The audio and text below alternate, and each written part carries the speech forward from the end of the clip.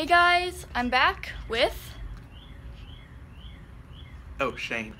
We're gonna go to Hypnotic Emporium, which is, um, what did you call it? Soda fountain. Yeah, ice cream place, I don't know, whatever.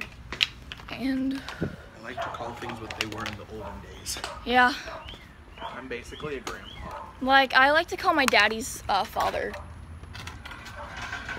Okay. Oh my god. he was so mad. Dude. I just realized I still have five more lessons and one of them might be with that guy.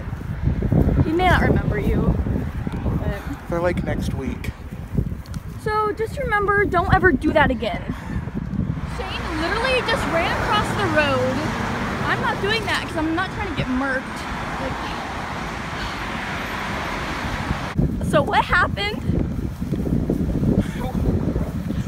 I jaywalked, and then I was about to jaywalk back, and then a cop came up. And I So thought, yeah, he jaywalked back and I thought I was gonna.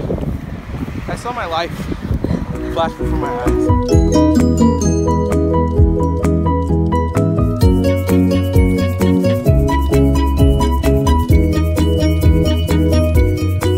I got blueberry cheesecake and the Texas Doctor, which is like Dr. Pepper with pecan.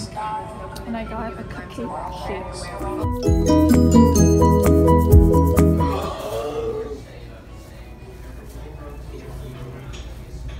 Oh god. We gotta stop. I'm gonna get one just so like. Is it? Is it like taffy or what? We're gonna make it work. Mm-hmm. Definitely. Alright.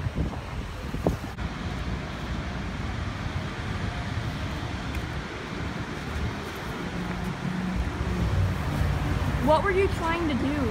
I was gonna go inside.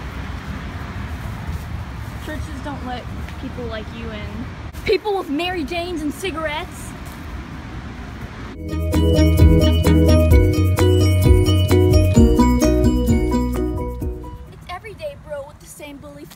Bully at school, now you're bullying your bro. it's true, brother. I don't really get it though. Stop bragging, just accept no one knows your Disney show.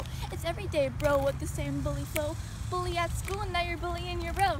Just your own brother, I don't really get it though. Stop bragging, just accept no one knows your Disney show. Should've never cheated now, never cheated now.